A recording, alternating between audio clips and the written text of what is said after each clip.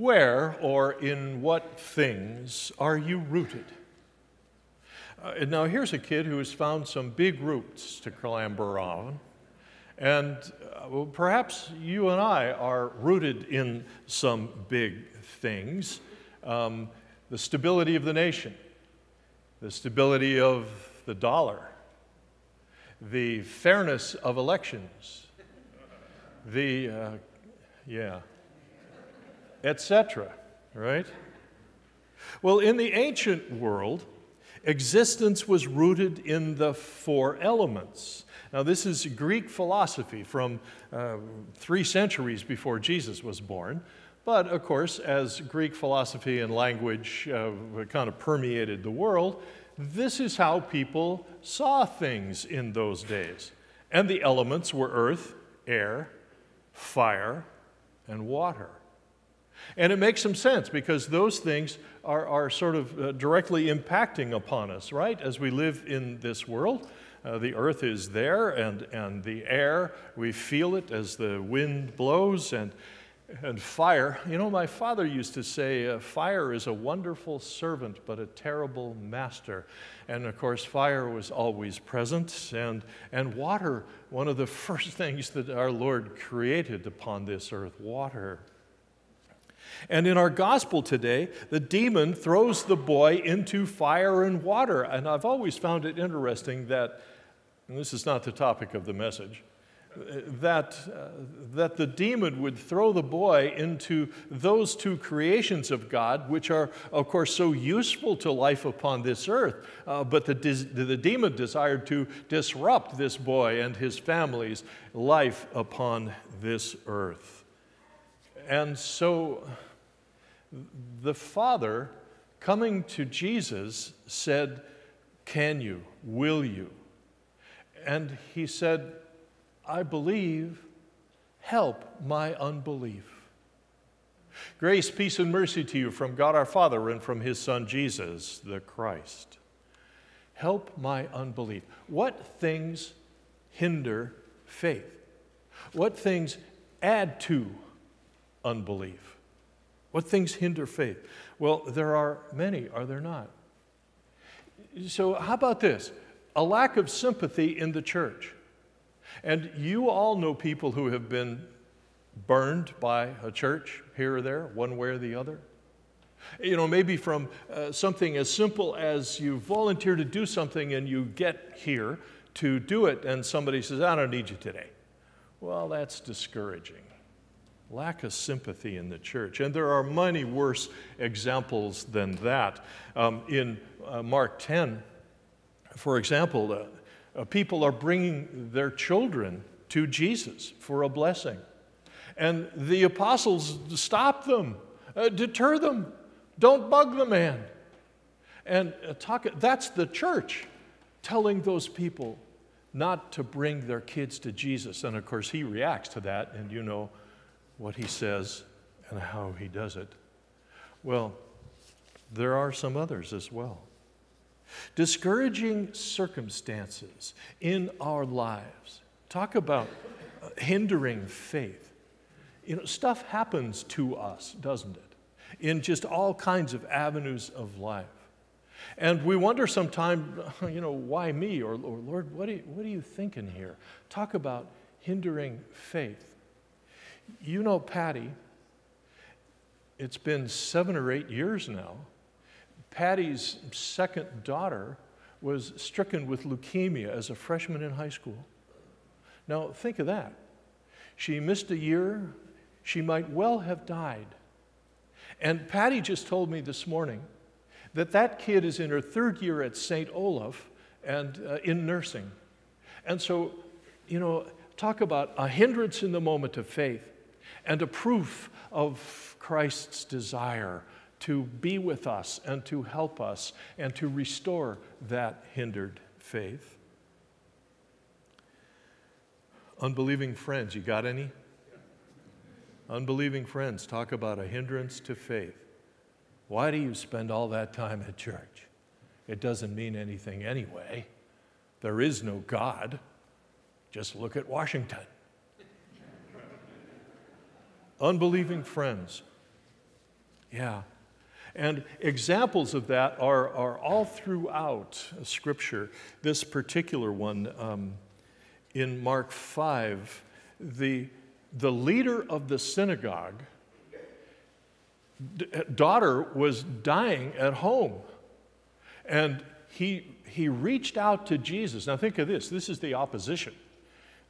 You know, this is the left reaching out to the right here. This is the synagogue leader reaching to Jesus and asking him to come and to help, do something, will you? And the friends of the synagogue leader said, Don't bother.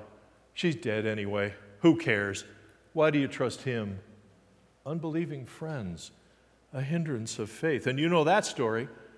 Jesus took this kid by the hand and just raised her up back into life. Scoffers, scoffers. There's a lot of scoffers in this world. A lot of scoffers where if you listen to them enough, they're all over the media, they're everywhere. Uh, folks who suggest that there is no God, there can't be such a thing as a Son of God, there certainly is no such thing as heaven. We may be in hell on earth, but, but scoffers, and they've, they're all through Scripture as well. And you know them. You know people who are simply scoffing at the possibility of a thing like Yahweh, God Himself, the creator of this world. You know, the Pharisees, here's an example uh, in, in John 9. Um, the Pharisees didn't believe the guy, the guy who had been healed. The guy had been healed. He's standing there in front of them, and they said, Nah, that wasn't you. It never happened. We don't believe it.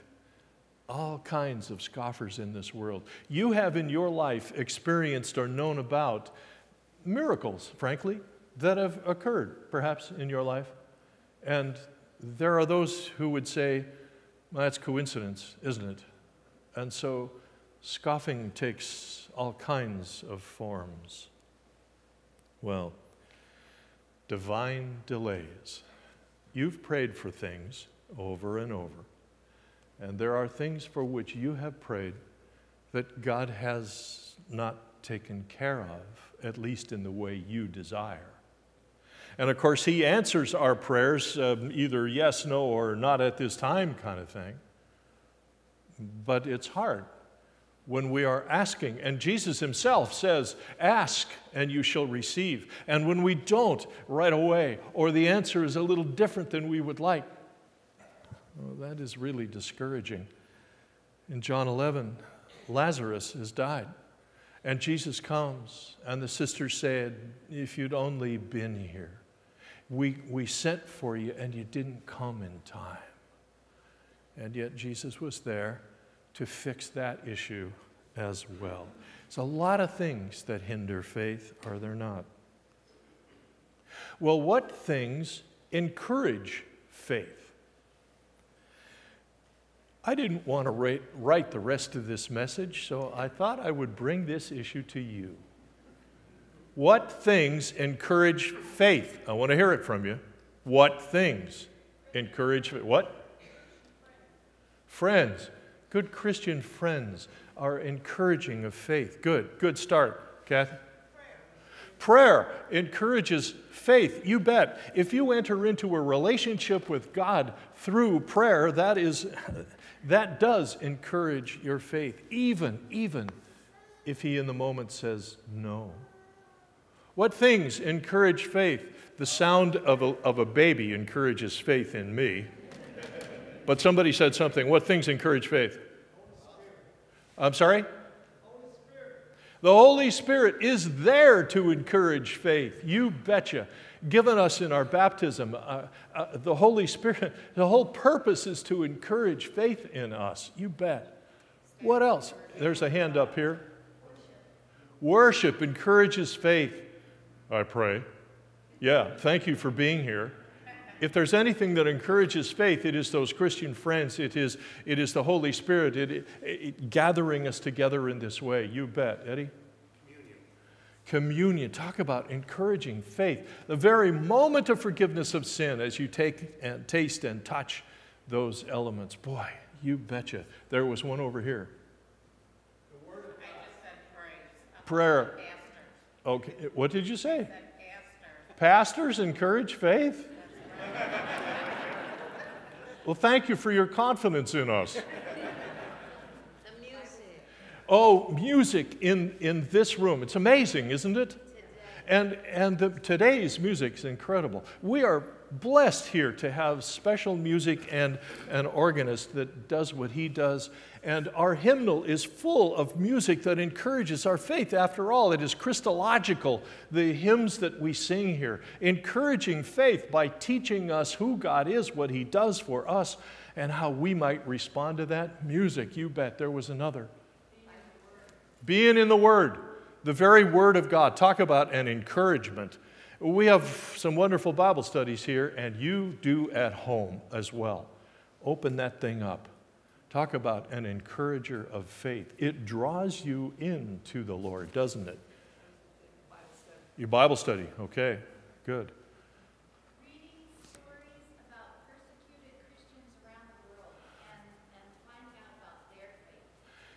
You may not have heard that. Reading stories about persecuted Christians around the world and reading about their faith and how they deal with such a thing. We're fortunate here.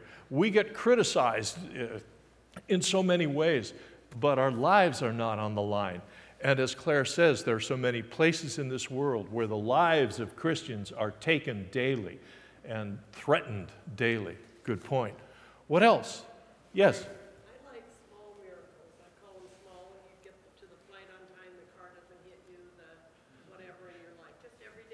She likes small miracles in everyday life. And an example was the flight is on time. Does that ever happen? Here's, I'll be right there. Here's a small miracle that I experience occasionally. At Christmas time, there's a parking lot in front of Nordstrom. a miracle, yes.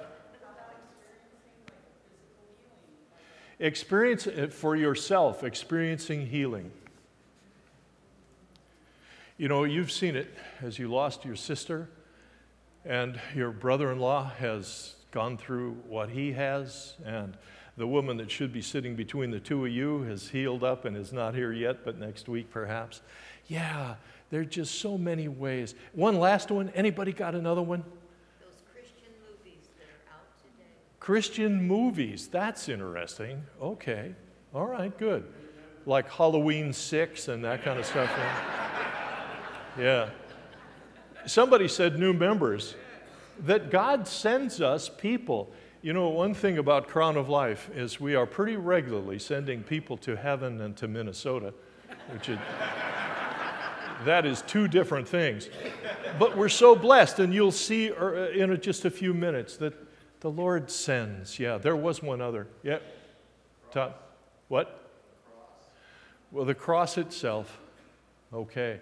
And somebody said to me last night afterwards that coming in here and seeing that is a reminder. And you know, it's an empty cross because we like to celebrate the resurrection beyond the death upon that cross. All right, one more. There was another. one. Kathy?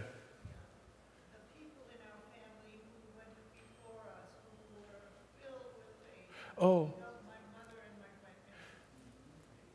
People in our family who have gone before us, an encourager of faith, and we remember the faith in them. You know, that book there, that book is from the 19th century, and, and it was. It was owned, and I don't know how we got it, but it was owned by a young woman who put materials, articles of her faith between those pages, and occasionally I'll open it up and find something. And it's a reminder that it, there are many generations ahead of us. One last one. Yeah. Answered prayer. Answered prayer, you bet. And it can be a challenge because sometimes they're answered in a way we don't want, but answered prayer, you bet. Well, I appreciate your finishing my message. Oh, you, you Lynn, okay, Lynn.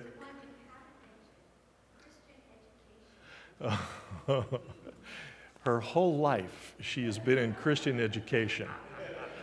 So this was an advertisement for Lutheran Christian education.